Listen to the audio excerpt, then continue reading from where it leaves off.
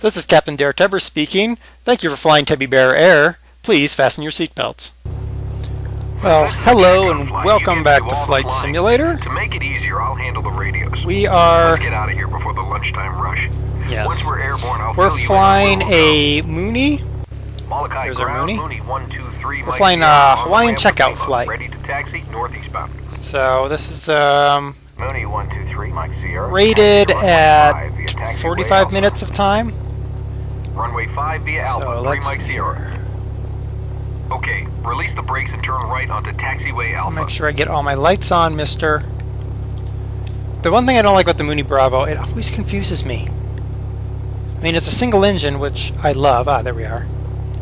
Taxi lights on, strobe on, recognition on, nav on, landing lights are off, so we should have all lights on now.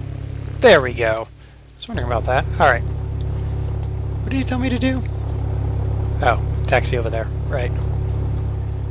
Alright, so release parking brake and advance the RPMs. Now the one thing about the uh, Mooney is it's got the glass cockpit. So that's kind of nice. One thing I don't like about the Mooney is with the single prop, she walks. So when we're flying, she's a very fast aircraft, but when we're flying, she's, she torques, which is proper. I mean, she's supposed to torque. That, Not to toot my own horn, but You would expect that. my whole life. um, and I used but it's still guide, annoying. It so makes it the right difficult to to keep the aircraft This should be a lot of straight at all times. Hawaii's a beautiful place, and there's no better way to see it than from an airplane. He's actually By very way, right this there. isn't a test. It's just a chance for you to get acquainted Hawaii is just a beautiful- beautiful set of islands to see from an airplane. airplane from us and fly on your own. The only thing better is if you're uh, you're flying uh, chopper, not not like the. Uh, You shouldn't taxi any faster than you can walk. quiet. I'm gonna taxi as fast as I need to taxi, because really nobody wants to watch me taxi. Um, the only thing that's better than flying around Hawaii in like a little little plane like this, or We're cleared across runway 1735. So look both ways, then go ahead and taxi across. Yeah, we're clear. Okay. Um, the only thing that is better is uh, flying like uh, military, uh, flying Coast Guard, Jayhawk, or something like that around the islands. That's always fun. They get a little bit. They get a little bit more leeway for obvious reasons. Um, and I, I, there's some areas that I still want to go back and see from the air. I'd, I'd love to fly over Volcano National Park. That would be really cool. Alright, so we're almost to our runway. Alrighty, slow down a little bit. Again, I have the on or off brakes, which is really annoying, but I don't really have any other options on this particular joystick. If I went and spent the uh, $150, $200 for some rudder pedals, it'd be so much easier, but I'm not going to do that. Okay, stop here and I'll get our takeoff clearance. Yep, stopped. Molokai Tower, Mooney 123, Mike Sierra, All ready to go. Runway 5. Excellent. Mooney So 3, all my Sierra, gauges are digitized, so I don't have any of the, I mean there's, Cleared for backup gauges there. Sierra. but everything is digitized. All set? Let's go flying. Take off and maintain runway heading. Rotate at about 65 knots. Taxi lights airplane. off, landing lights on. Let's roll.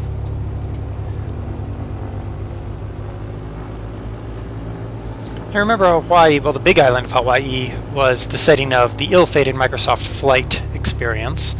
Um, I didn't even realize that my flight was shut down in July of 2012. Um, I played it three or four times and then said never again, so didn't even pay attention. Alright, let's go to the skies. One thing about the digital cockpit, it does make me want to keep my head down more and not look out the window, which is kind of sad. Alright, we're at uh, 50, 65 knots rotate. And there we go. Oh, back on the ground. Haha, wasn't paying attention. There we go. Gears up. And locked. Away we go. A good climb speed in this airplane is about 90 knots. Keep the throttle full and adjust pitch to maintain 90 knots. Yeah, yeah, yeah. We're gonna go a little bit higher, a little bit faster than that. Well, close to 90 knots, still.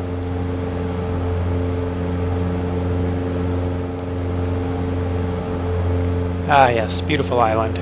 Beautiful islands, all of them are beautiful. Nice takeoff. If you look at the GPS, you'll see that I've entered Yeah. a flight plan to Hana I on do see that. That's where we're headed.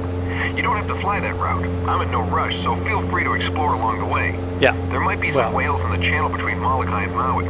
You can fly wherever you want, and I'll tell you about some of the things we fly over. right. If I can make a Keep suggestion, talking, guy. you might want to start by continuing offshore a bit, then following the north shore of Molokai to the east. You'll get a great view of some spectacular cliffs. Yeah, we're actually gonna head that way. Climb as high as you want. Looking When at one thing up, and looking at something else. Power back. Alright, we're actually going to level off. We're going to fly pretty low, I think. Now remember, for those of you that are, that wanted the cut version, there are going to be cuts um, that I'm going to make. Those of you that want the full version, there's a full version posted, so depending on which version you're watching. so depending on the version, there's either going to be a cut here shortly or not. How about that? Um, Alright, so we're going to fly the GPS route he's got set over there on the Garmin. So we're going to go check out these cliffs over here on this island, and then we're going to head across the channel. Uh, we are going to try to find the whales, because you get a little postcard or something for that. That's Along awesome. this coast are the highest sea cliffs in the world. The tallest ones are 3,600 feet above the water. There have been a lot of theories about the north shore of Molokai, but geologists now think that the cliffs were sculpted by waves. Whatever it was, the result is pretty spectacular, and you can't see it unless you're on a boat or on an airplane. And that's true too. If you go to Hawaii and you, you go to the island of Molokai, definitely go fly the cliffs.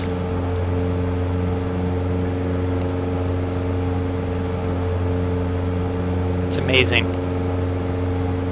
Alright, so up we go to the the small town of Lahaina down below. Yes. In the early 1800s, it was the capital of Kamehameha's Hawaiian kingdom.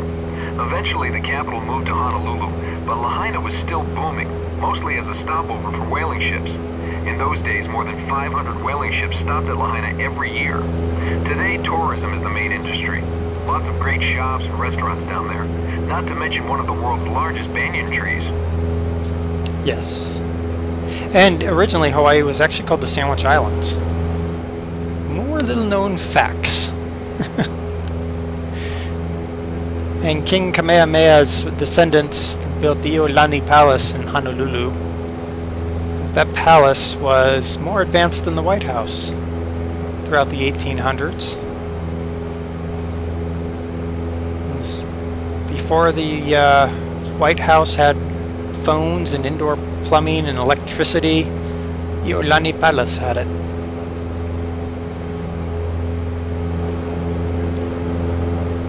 Hawaii was its own i- its own nation for the longest time. And then, you know, you know how Americans are. They took it. They took it by force, threw out Queen the Queen, locked her up in her palace until she died, and took the island. That's why Hawaiians aren't particularly uh, fond of. Not all Hawaiians are particularly fond of America. See that little island? It's Molokini, the top of an extinct volcano. The crescent shape protects the reef from the elements, so it's one of Hawaii's most popular dive sites. There are about 250 different species of fish down there. Yes. There it is, right there. Look at all the boats hanging out. Isn't that cool, that crescent shape there?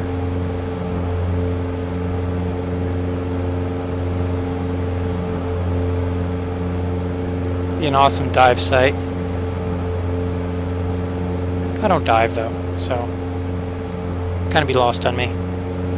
It'd be cool to fly around Hawaii like this without having to worry about air traffic control and flying in and out of military exclusion zones. Would be nice. Alright, we're approaching Harpo intersection. Ooh, bounce, bounce, shake, shake, shimmy, shimmy. Shimmy, shimmy, cocoa butter, or something like that. Alright, come on. Stop dancing. Yeah, the, as the airflow gets compressed with these two mountains here, we would experience a lot of buffet and, and bounce. Alright, so we've climbed above 10, we have climbed beyond 10,000 feet. That, I can't remember how much more how much more altitude we need for the uh, top of Haleakala, because he's not talking about it right now. That's where a real human would come in handy. What'd you say? What'd you say, Invisible Man? Yeah, he's not talking. Oop, stop, stop. Don't turn like that. Alright, so we're at 10,005. We're going to try to level out here around 10,005. If I remember correctly, you can actually bike down Haleakala. There's a tour you can do. You can sign up for a tour and you uh, get picked up in the morning on a van and they drive you up Haleakala and then you ride a bike down. A long time ago, people believed the sun slept in the crater at night, so they called it Haleakala, or House of the Sun. These days, it's a great place for stargazing. There's an observatory on its highest ridge. The view is unmatched, since at 10,000 feet it's already above one-third of the Earth's atmosphere. Look at that. Beautiful observatory hanging out out here on top of Haleakala.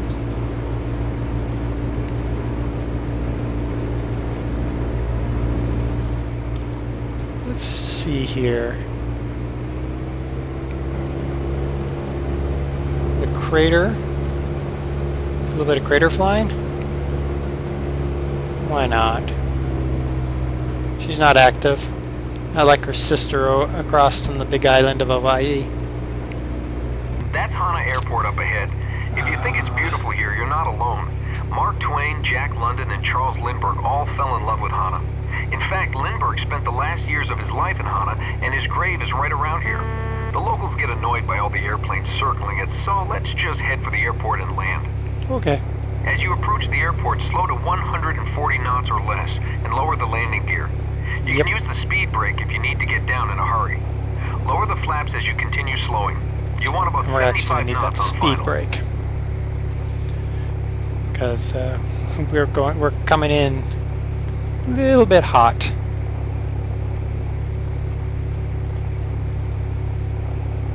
Go. Gears down. Gears locked. Let's go ahead and drop some flap.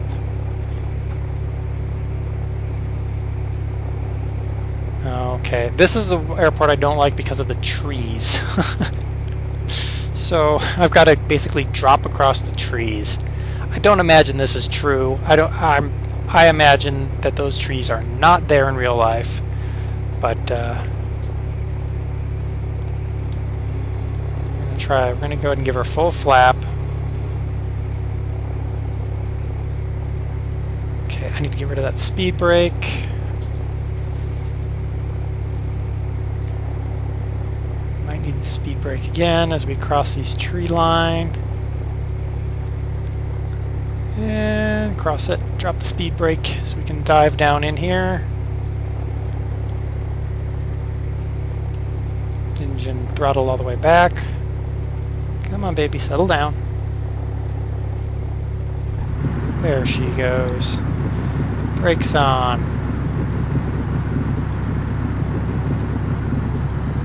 And 50 miles an hour and dropping. Didn't see any whales. There we It's go. hard to know exactly where to find them. Stopped.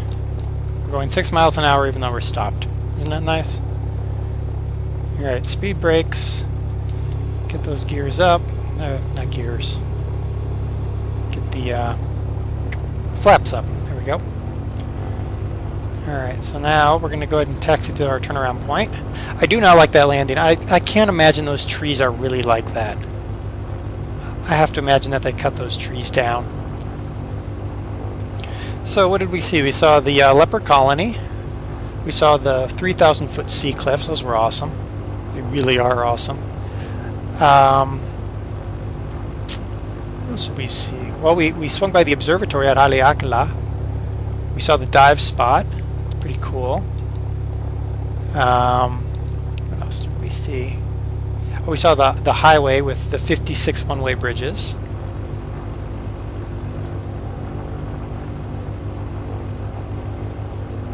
We saw some airports, but they're not as important. so uh, for those of you that didn't see those things because you watched the cut video, because I'm probably going to cut a couple of those, just to make you go watch the long video. Um, aren't I nice? Um, check out the long video. Uh, the short video, you know, highlights. For those of you that want to just see the highlights, or low lights, depending on your point of view. Hey look, there's a cub parked over there. Oh, hello cub. Did you find any sheep? I bet you had found sheep. Avionics master off. And Alton battery off. Open our door. So there we go. We've made our flight. Our Hawaiian checkout flight. We've seen some great sights. We landed dangerously because of these stupid trees at the end of the runway that should be cut down. I'm going to file a complaint with the FAA about that. Um, so until next time, this has been Der Tebbers with Flight Simulator X.